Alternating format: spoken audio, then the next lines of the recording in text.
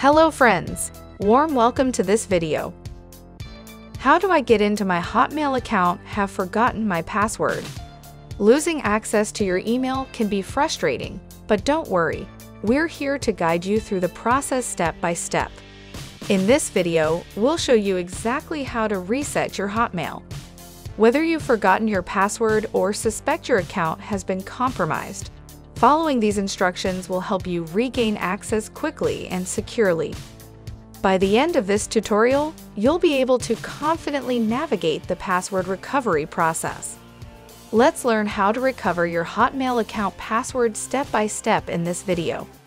Open your web browser and type account.live.com slash password slash reset and press the Enter key on your keyboard. Enter the email address associated with your Hotmail account and click Next to proceed. Now, choose your preferred recovery method, either your alternate email address or phone number. If you've selected email, write your alternate email to verify that this is your email address, and click on the Get Code button to receive your code.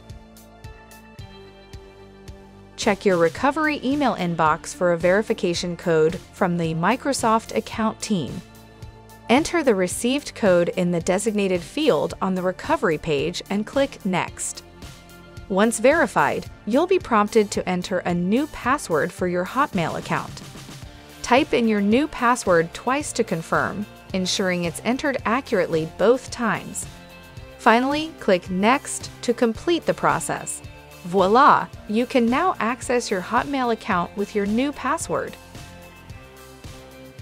Please do not forget to like this video. Make sure to subscribe to this channel. Press the bell icon to get updates on new tech support videos. Thank you for watching this video.